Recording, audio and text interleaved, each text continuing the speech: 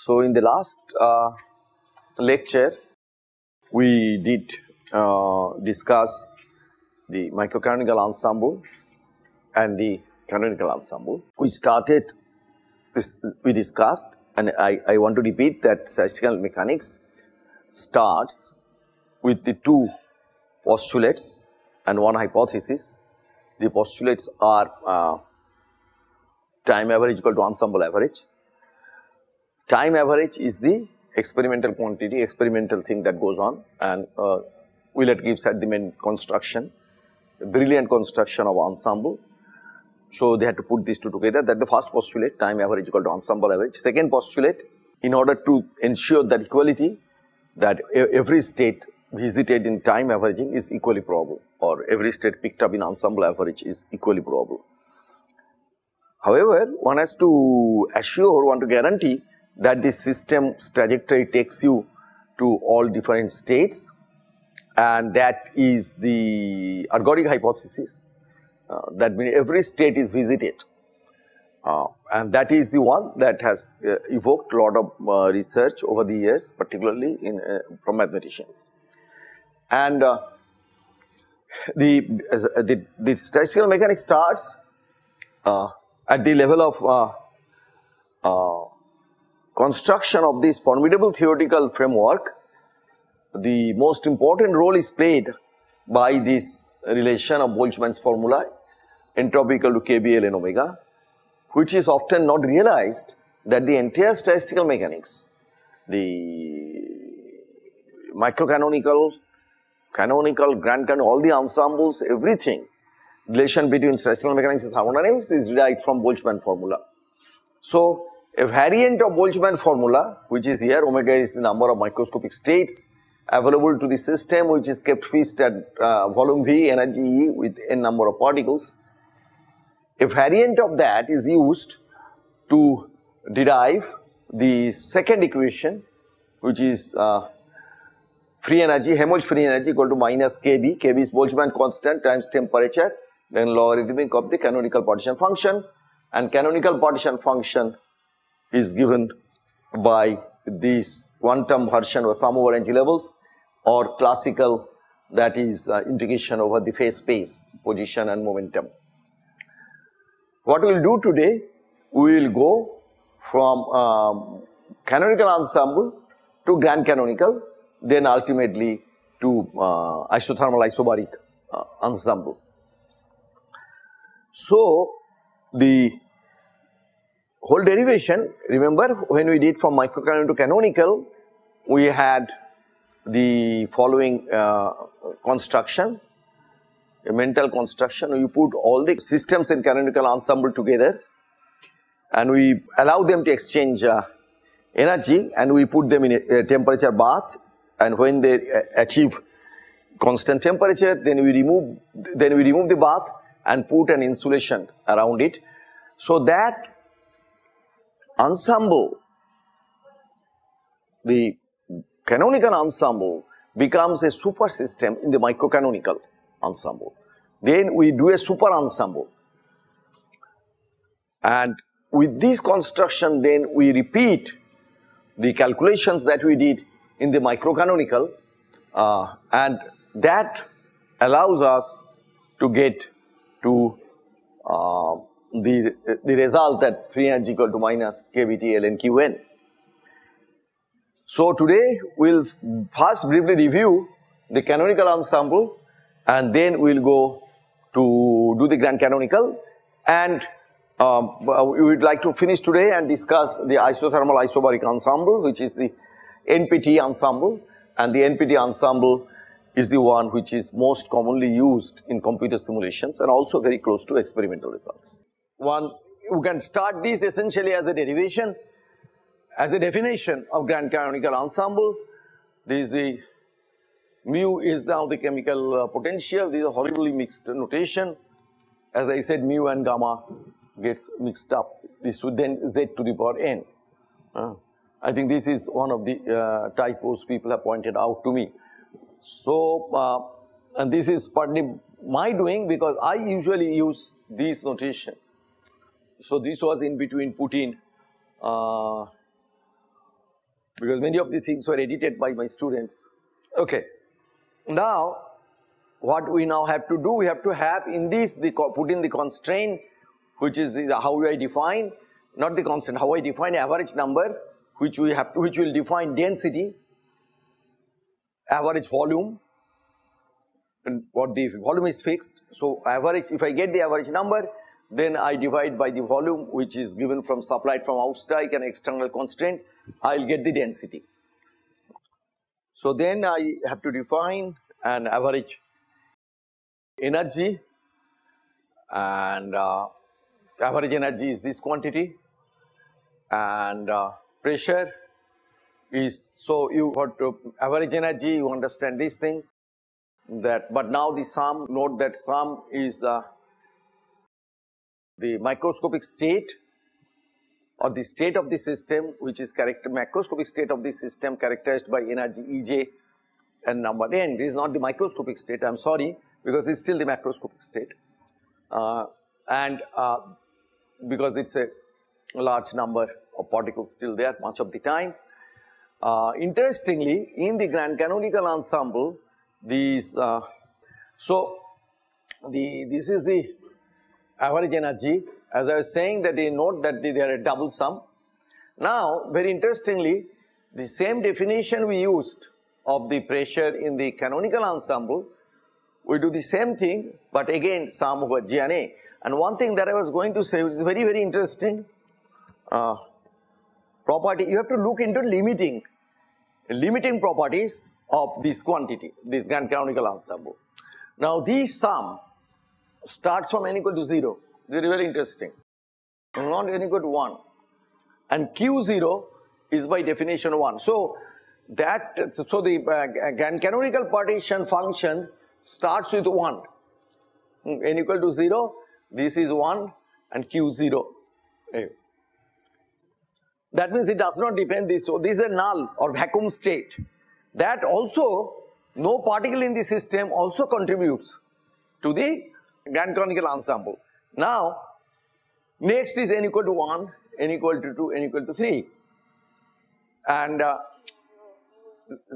this particular property plays a very important role because uh, you know when you do these kind of sums that calls the uh, generating function.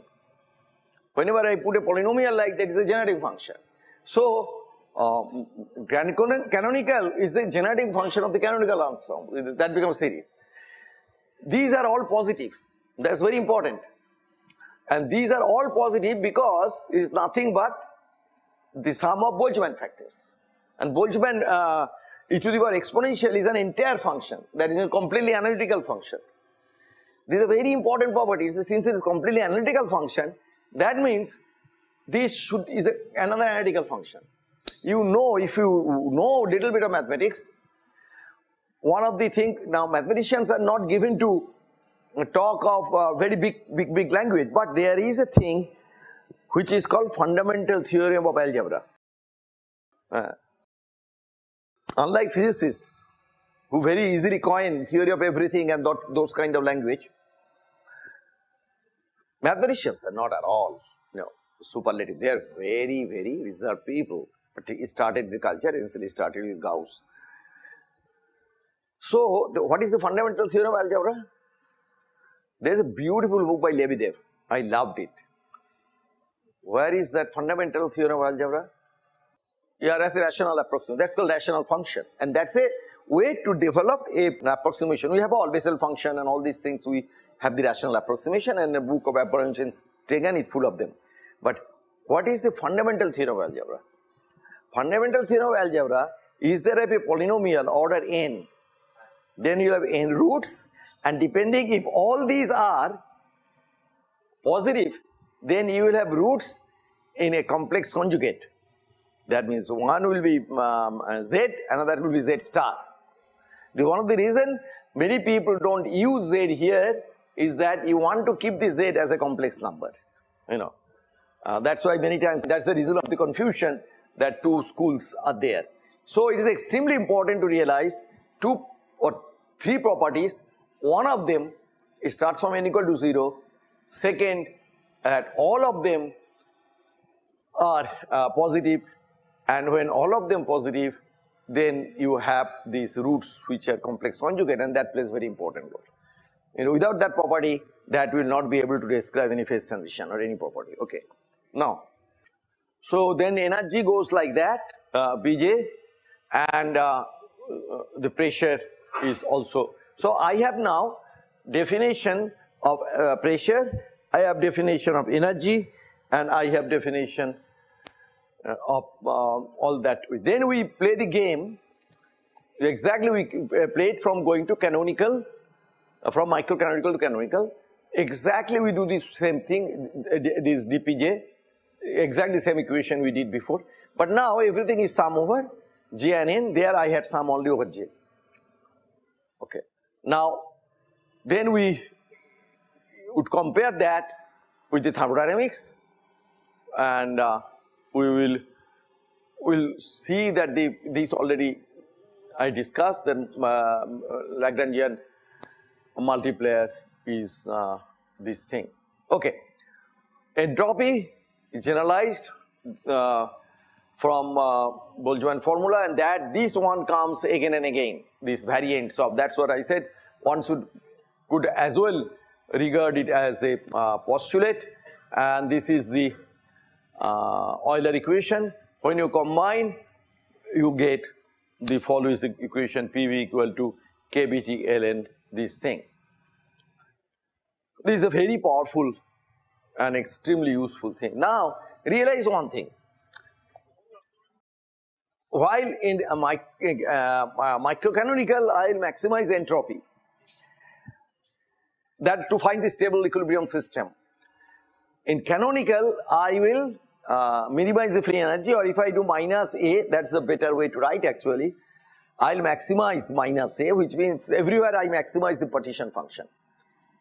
So, here we maximize the quantity PV. So, PV also has the dimension of energy, right? So, in grand canonical applications, in phase transition or the things, we impose equality of chemical potential to derive our equations, then we put the uh, calculated pressure by maximizing uh, this ln uh, uh, you know sigma. So then we still uh, go on doing the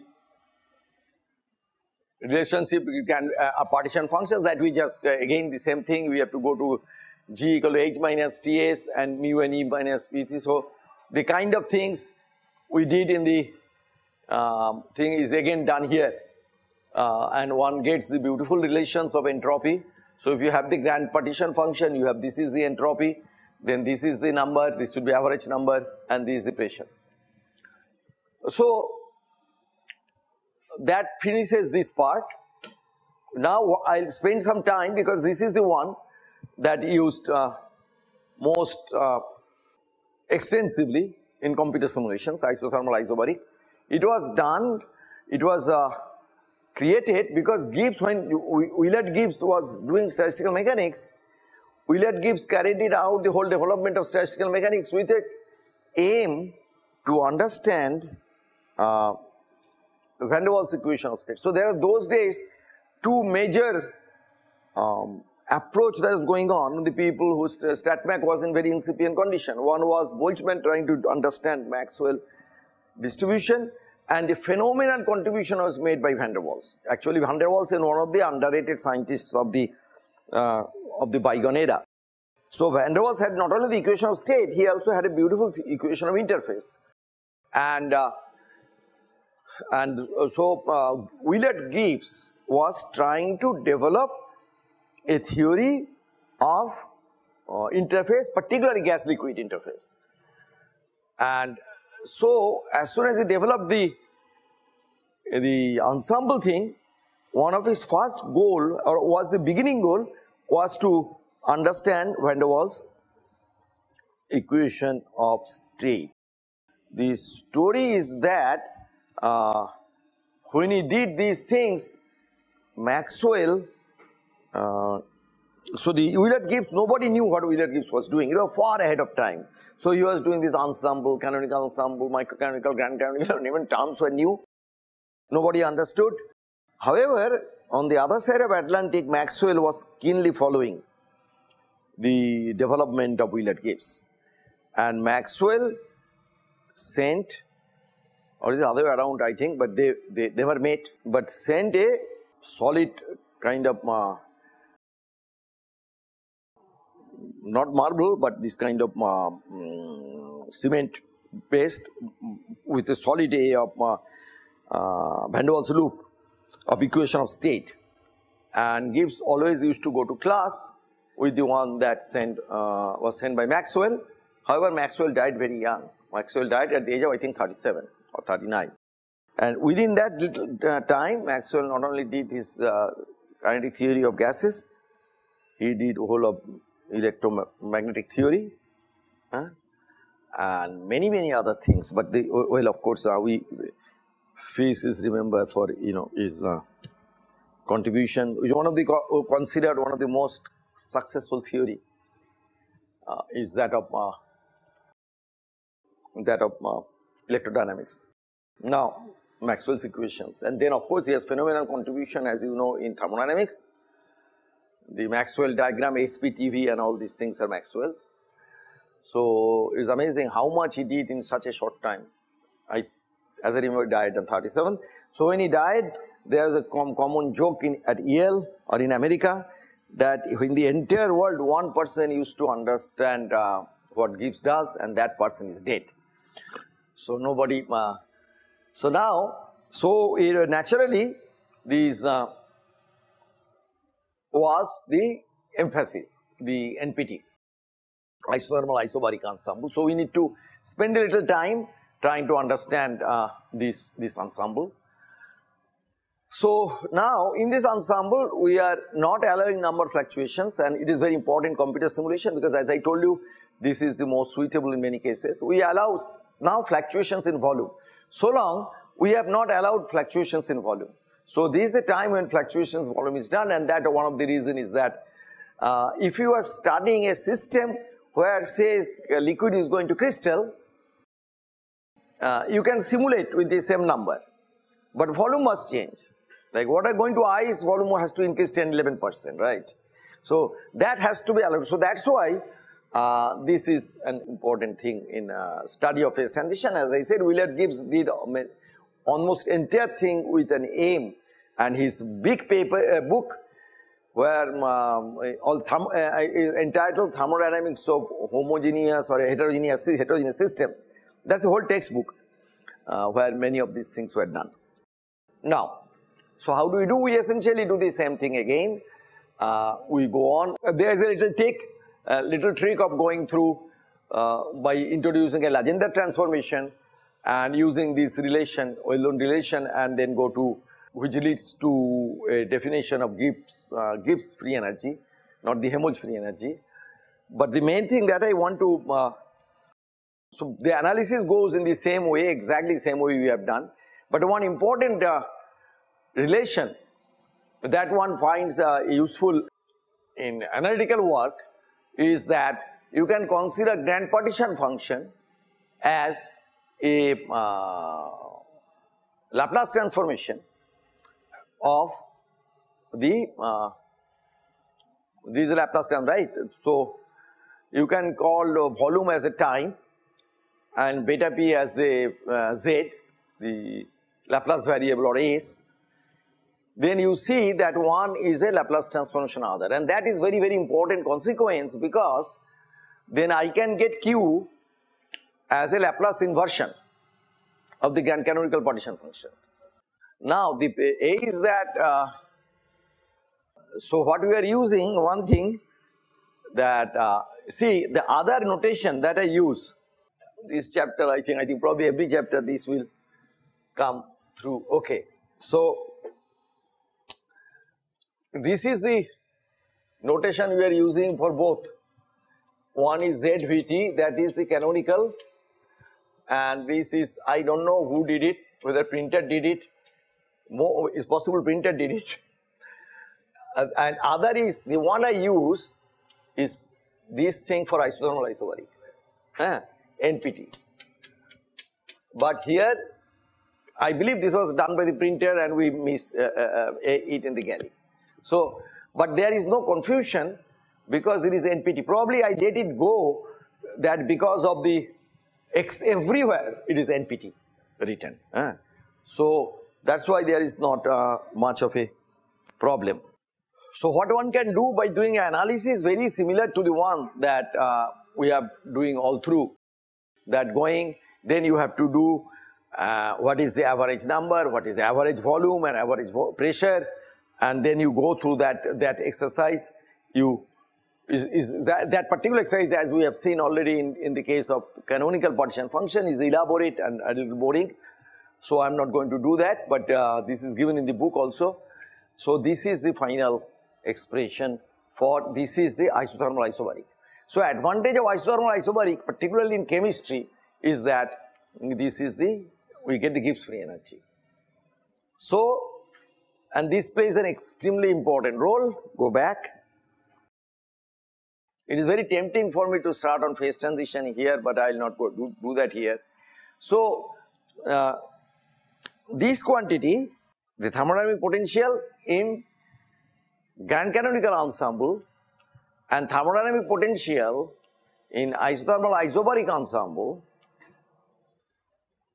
are so if I do remember G equal to and that is E plus PV minus TS and E minus TS is energy right then plus PV. So, G minus A is PV. Eh? So, PV is KBT ln uh, ZVT right and G is so I have what I am trying to say that we have a relation at the level of logarithmic of all the partition functions. This is then comes uh, in isothermal isobaric, this is the canonical and this is the grand canonical. Yeah. And uh, this is an amazing uh, relation that is often given in uh, slightly advanced courses of statistical mechanics that show that this relationship. You know, you of course you are not expected to derive the whole thing, but you are expected to write down the expression of the potential. This is an amazing uh, relation one should remember.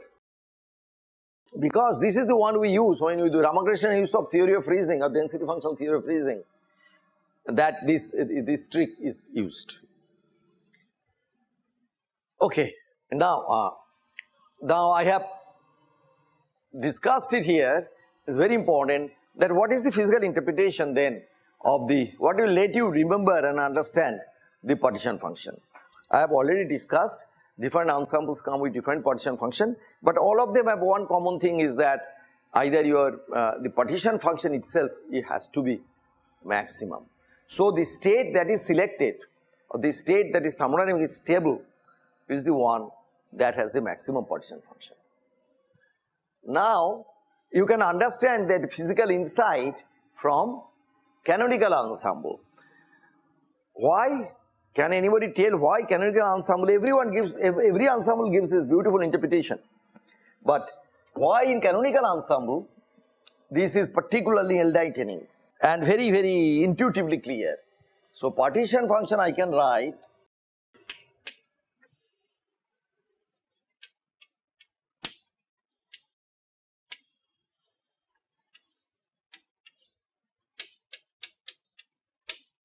right.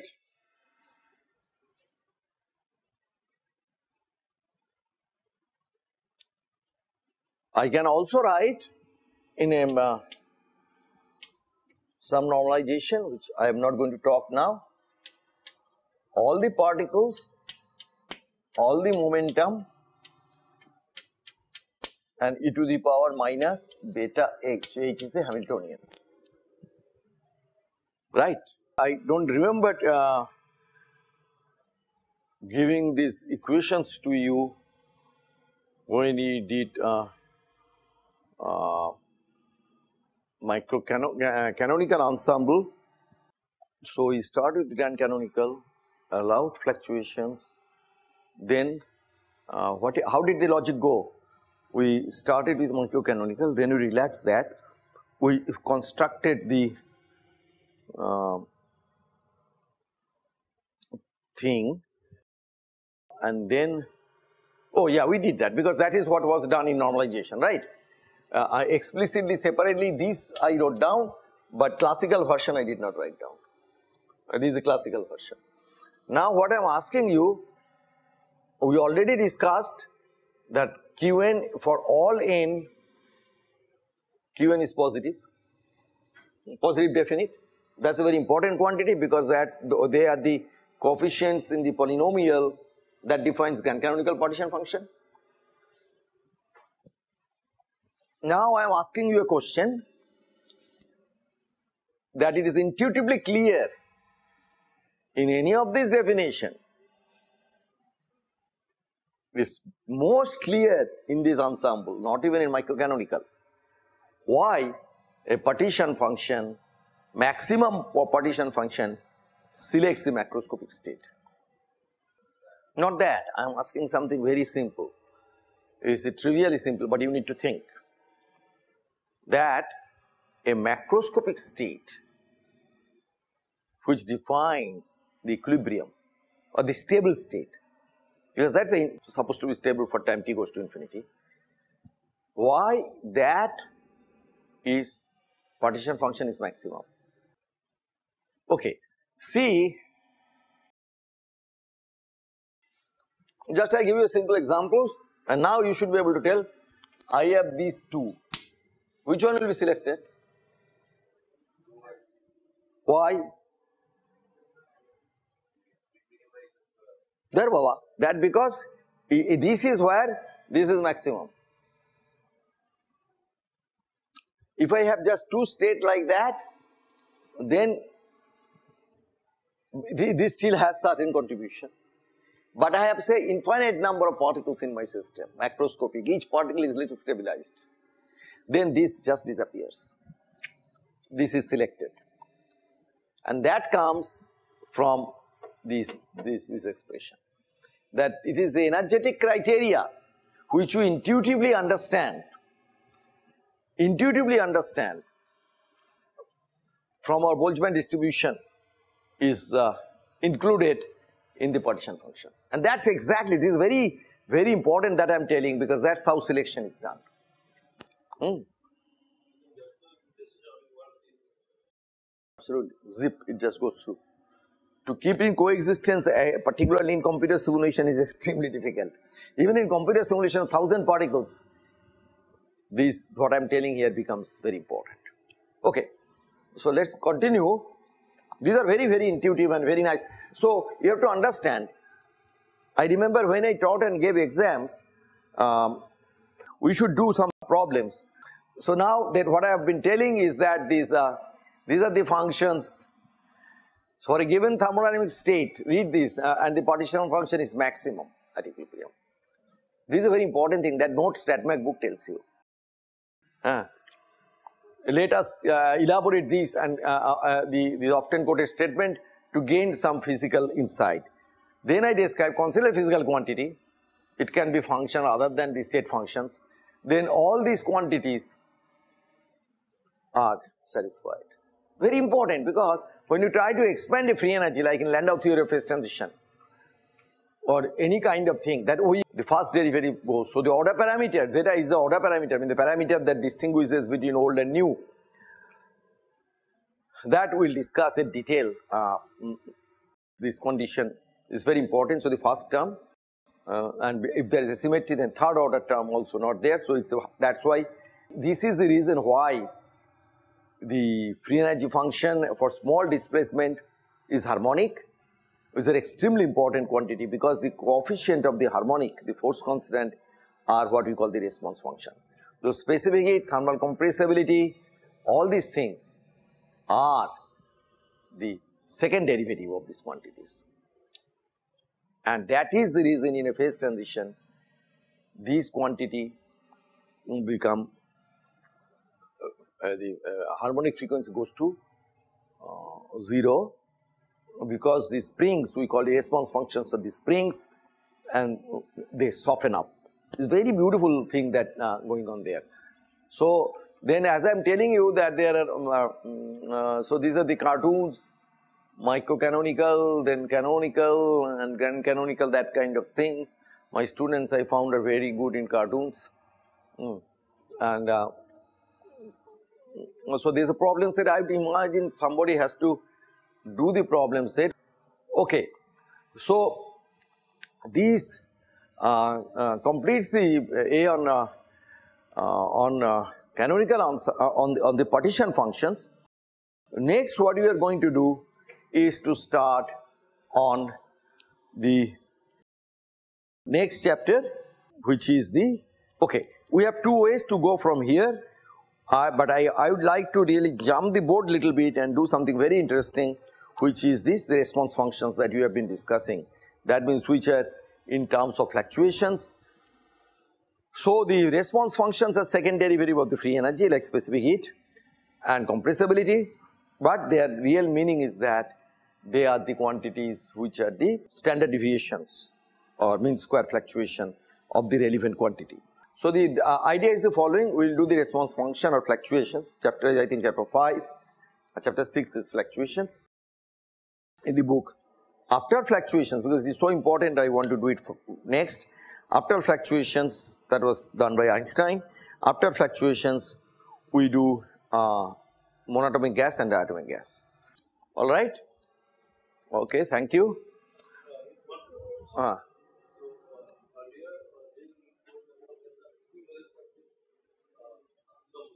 Right, very good question.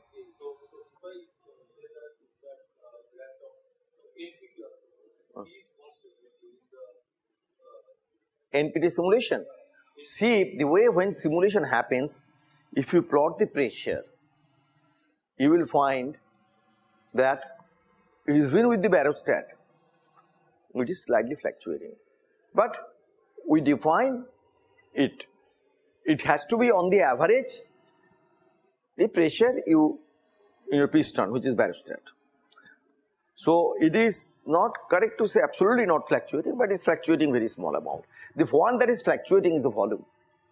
Volume is fluctuating in a big way, but you can still define a volume and the, the uh, mean square volume fluctuation that gives you the compressibility. Uh,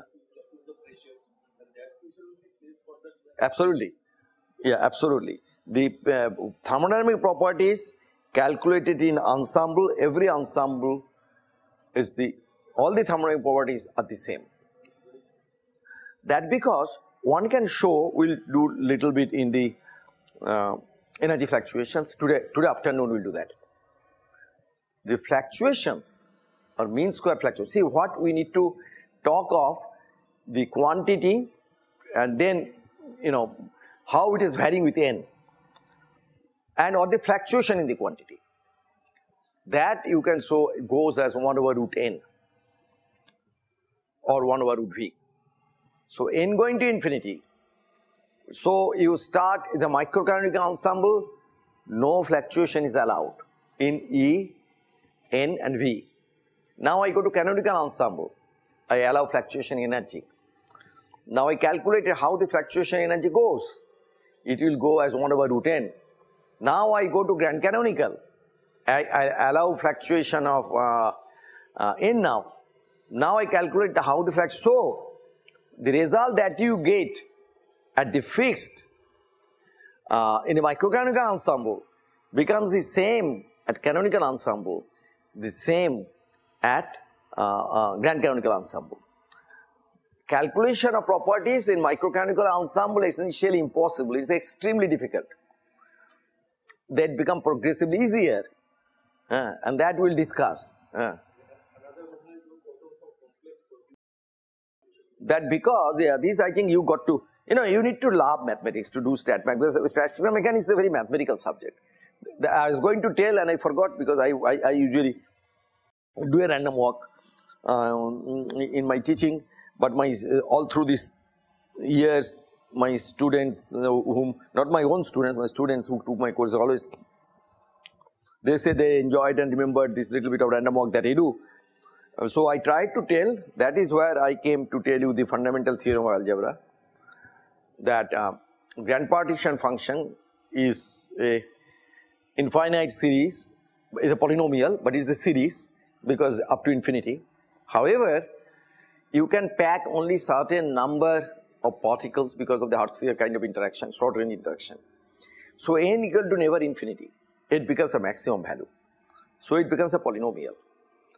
So when it becomes a polynomial, then it has zeros. Zeros of the polynomial determine the singularity of the partition function and properties. And that, those are the things called very famous. We will do that. I have a chapter, I think chapter 13 or 14 in the book, which called Yang-Lee theorems. And that was exactly that uh, very, very famous uh, contribution by C.N. Yang and T.D. Lee, who got Nobel Prize for quark confinement, but mm, this was also one of their phenomenal contributions. Has to be. Take a put think of putting a marble ball in a jar. You can put only a certain number because after that you cannot pack. So we'll come back. Huh?